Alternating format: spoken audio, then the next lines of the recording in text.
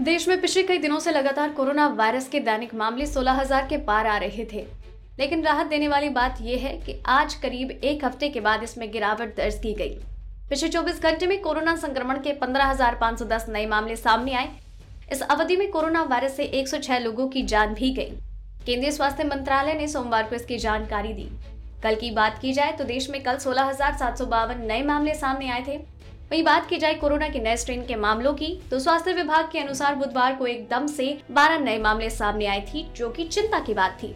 पिछले शनिवार को कोई भी मामला सामने नहीं आया, लेकिन फिर रविवार को पाँच नए मामले सामने आए।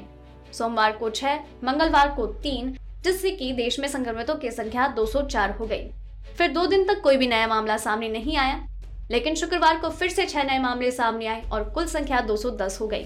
लेकिन शनिवार, रविवार को कोई भी मामला सामने नहीं आया और आज सोमवार को फिर से तीन नए मामले सामने आए और संख्या हो गई 213।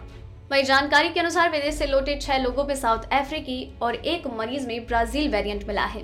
केंद्रीय स्वास्थ्य मंत्रालय ने आज सोमवार को ये जानकारी दी। इनमें से हर मरीज़ को संबंध राज्य सरकारों द्वारा निर्धारित स्वास्थ्य देखभाल संस्थानों में अलग अलग कमरों में रखा गया है। उनके करीबी संपर्क में रहे लोगों को भी पृथक रखा गया है।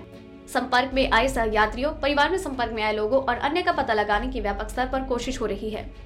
अगर आपको रिपोर्ट पसंद आई तो उसे लाइक और शेयर करें। साथ ही अपने व्यूज़ हमें कमेंट करके ज़रूर बताएँ।